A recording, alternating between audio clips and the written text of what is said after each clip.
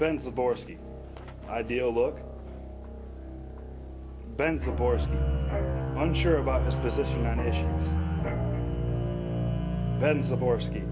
A Democrat taxing big corporations, causing outsourcing, leaving millions without jobs. Now, is Ben really who you want for president? Also, Ben scares children. Paid for by the Society of America's Future.